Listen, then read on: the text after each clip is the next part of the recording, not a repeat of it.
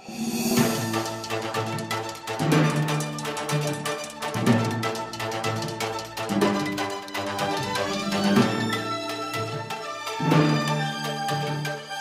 அருகே கூழையார் கடலில் விடப்பட்ட அரிய வகை ஆலிவ் ரெட்லி ஆமை குஞ்சுகள் மாவட்ட ஆட்சியர் மகாபாரதி முன்னிலையில் ஆயிரத்து எழுநூற்று எழுபது ஆமை குஞ்சுகள் கடலில் விடப்பட்டது.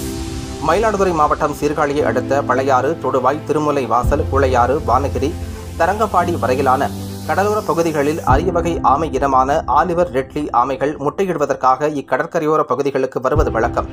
ஆண்டுதோறும் டிசம்பர் மாதம் முதல் மார்ச் மாதம் வரை கடற்கரையோர பகுதிகளில் தஞ்சமடையும்.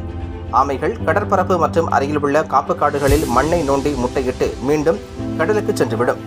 இவற்றை அப்பகுதியில் உள்ள விலங்குகள் மற்றும் பறவைகளிடமிருந்து பாதுகாத்து வைப்பதற்காக வனத்துறையின் சார்பாக கூழையாறு தொடுவாய் வானகிரி உள்ளிட்ட மூன்று இடங்களில் ஆமை குஞ்சுகள் பொறிப்பகம் அமைக்கப்பட்டுள்ளது.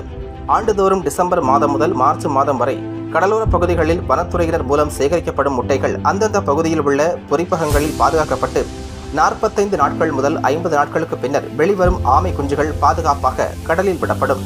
அதேபோல் பொறிப்பகத்தில் வைத்து பாதுகாக்கப்பட்ட ஆயிரத்து எழுநூற்று எழுபது ஆமை குஞ்சுகள் வனத்துறை சார்பாக குள்ளையார் கடலில் விடும் நிகழ்ச்சி நடைபெற்றது.